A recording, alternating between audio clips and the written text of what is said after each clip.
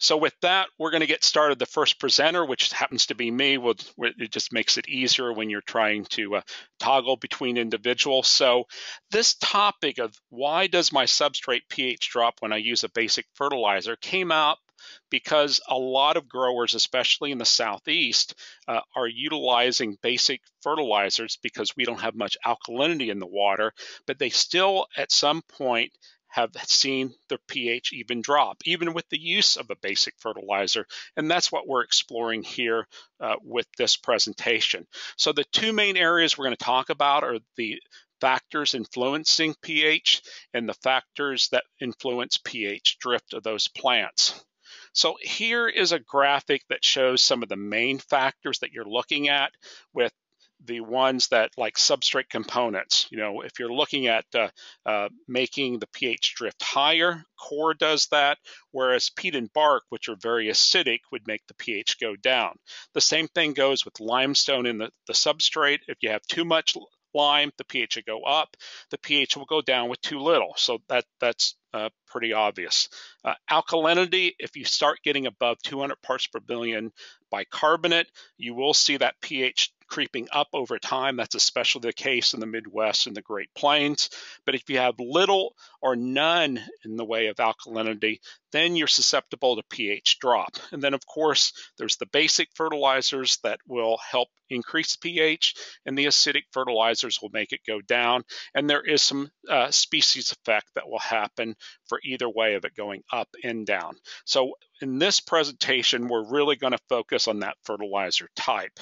And so when you look at the species effect on pH, and that's that's some of the factors to look at, what the plant does during production is not always good. In some cases, it will increase the pH. In other cases, it will decrease the pH.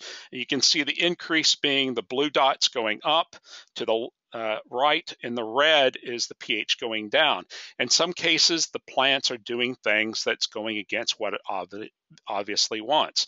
For instance, Vinca would like to have a lower pH, while Celosia and Dianthus would like to have a higher pH. So the plants are, in many cases, working against you.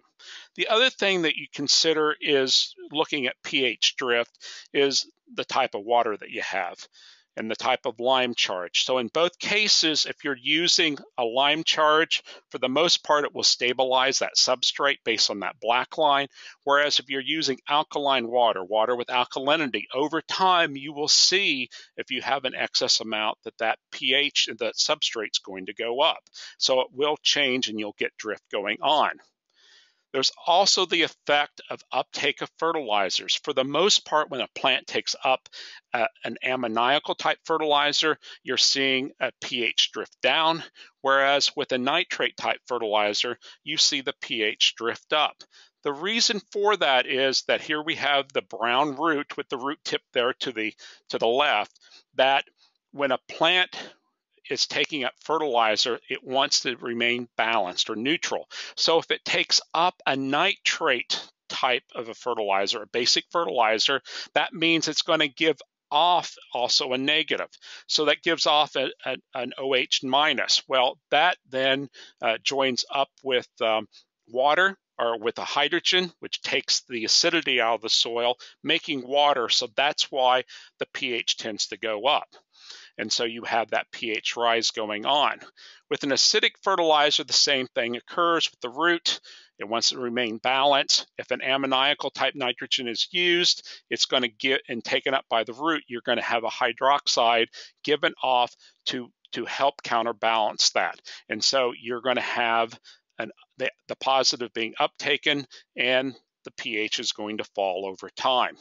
So this is all well and good, and this works when the fertilizer supplied equals the fertilizer demanded by the plants. When you're in balance, then you have this effect of plant uptake being the overriding system that affects that substrate uh, with the fertilizer. So we do see in some cases with the basic fertilizer, though, that the pH still goes acidic. And Dr. Paul Nelson uh, and his grad students did some looking at this. Uh, they haven't yet published the information. I think it's going to come out in the next year, uh, but they were looking at the fertilizer effect of acidity and basicity. And so this is this is basically a summation of some of that research that Paul Nelson did here at NC State University. To illustrate this, basically, in summation, is that in the case here, and we're looking at roughly 100 parts per million uh, fertilizer being supplied by the plant, and that is roughly on a lot of times the, the amount supplied equals the amount demanded by the plant. So when we have that condition, what happens to the EC? The EC, no matter if it's basic, the blue line, neutral, the green line, or acidic, the red line, the pH or the EC pretty well is going to stay about the same because you're in balance.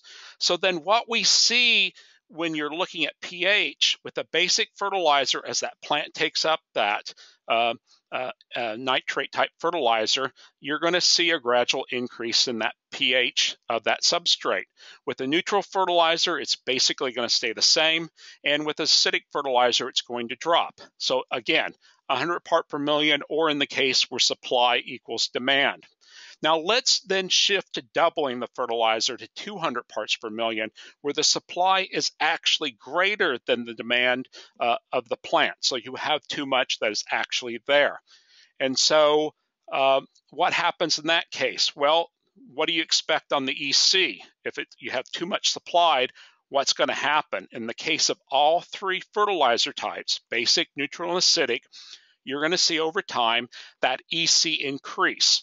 And so that's when you know that you're supplying too much fertilizer more than what the plant needs. So then the interesting thing that they found in this research is that in the case of all three fertilizers, being at basic, again, the blue line, neutral, or acidic, that the pH over time then dropped. And so, why is that the case? You would think that a basic fertilizer would cause the pH to go up, and they did not find that in the, the numerous trials that they were doing. And so if the pH goes too low, what do you see? You can see the standard bronzing going on as we see here with marigolds. So as it gets more severe uh, going to the right, you can see more of a necrosis going on after it bronzes. Likewise, on some other plants, you'll see more of that purplish black discoloration happening on the lower leaves. In both cases, we're looking at symptoms developing on those lower leaves. And so, thinking about this, when you start looking at fertilizers and the chemical effect of that fertilizer, if you mix up some fertilizers that were 200 parts per million, an acidic fertilizer and a basic, the acidic being the blue one, what would be the case of the P solution pH? We measured some, the pH was about 3.8 in that concentrate. But what do you think that pH would be under the basic conditions? In that case, there, the, the pH of a basic fertilizer, in this case 13 to 13 cal mag, was actually more acidic than a 2010-20. But a 2010-20, once with when you look at the potential acidity, is about 400 pounds of potential acidity, whereas 13 to 13 is probably right around 400 pounds of basicity. So it's kind of odd that that's the case that's going on, but you have that acidic effect uh, with that actual fertilizer solution. So what's going on when you you have a balance between supply and, and demand? That then the uptake effect of what that plant, that illustration with the roots, is greater than the chemical effect. So you in fact will see in the lower part of this slide, you will see that a basic fertilizer will increase the pH. A neutral fertilizer will hold it, and an acidic fertilizer will force it down. But when you turn on and supply more fertilizer than what's demanded, then the inverse happens. The uptake is not as great of an influence on that substrate pH. It's overwhelmed by that extra fertilizer, the chemical effect. And in all cases, we will see that the soil pH will then decrease. So that's what's happening. It's a greater chemical effect is driving down that pH if you have the, uh, the EC2 high. So the, take home here is that you really need to match the EC level with the plant's requirements. And that's where monitoring for both pH and EC is important to make sure you are on target so you don't start driving down that pH for those plants. So, in conclusion, we, we've talked about some various factors that influence pH drift, but if we look at the EC being too high, the pH can drop.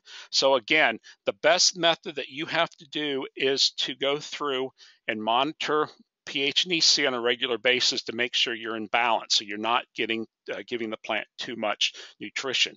Now, if a, a, problem does occur, this past spring we had the e-GRO Alert 4.02, and in that alert has the the, the fixes, both if the pH is going too high and if the pH is going too low. So you can download that, that handout from the e-GRO website if you want additional information.